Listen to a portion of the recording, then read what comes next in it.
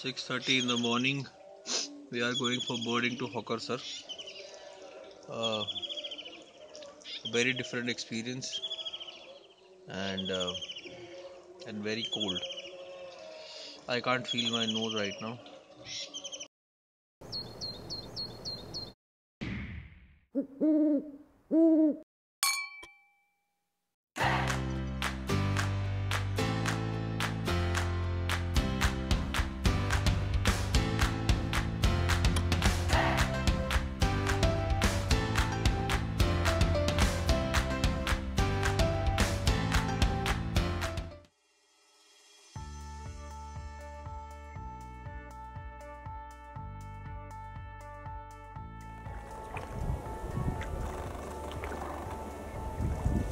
This is the entrance of Hokersar wetland and we are at the wildlife department office.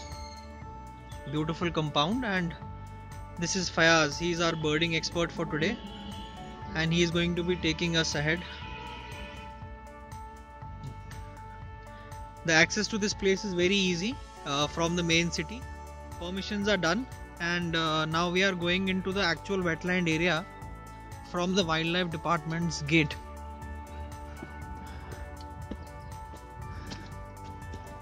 This is a outside view of the wetland area.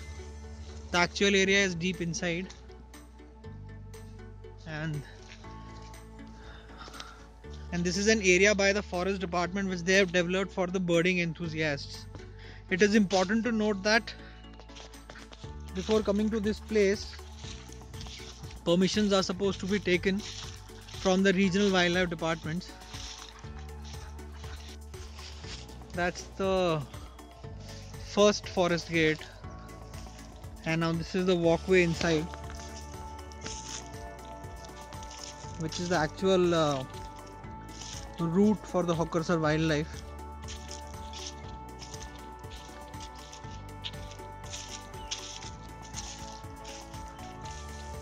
This is a winter time video so the vegetation and all is absolutely brown but uh, the best part about Hokersar is that all the migratory birds especially the mallards the pintails the teals and other ducks they all arrive during the winter time to srinagar.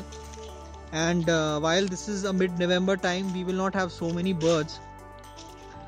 But the maximum majority of birds arrive december onwards 10th 15 december onwards because the winter is at its peak at that time. The gentleman who escorted us here has told us to wait near that board and then somebody is gonna come in a shikara and take us out for the birding activity.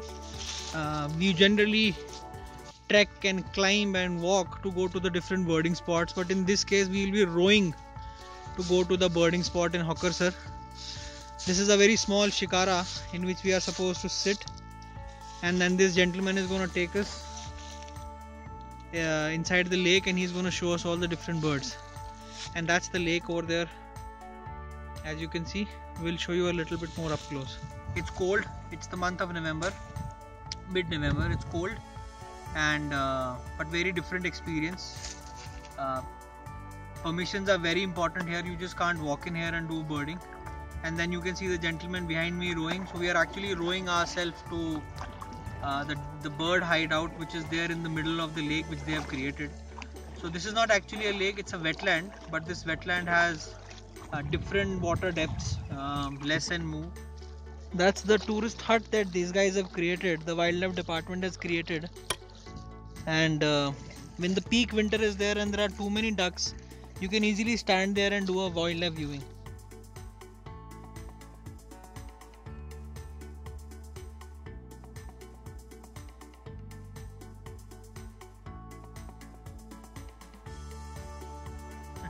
these guys are opening the lock of the watchtower. So watchtower is like a hide. We are supposed to sit there. This boatman is gonna go around uh, bring all the birds this side so that we can get an up close option of photography. Surreal experience. Surreal experience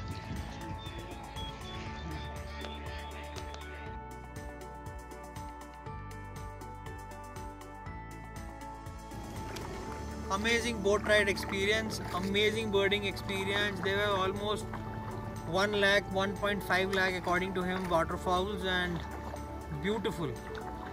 The boating in itself is an experience but birding was superb.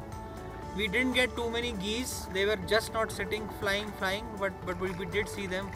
But plenty of waterfowls beautiful beautiful experience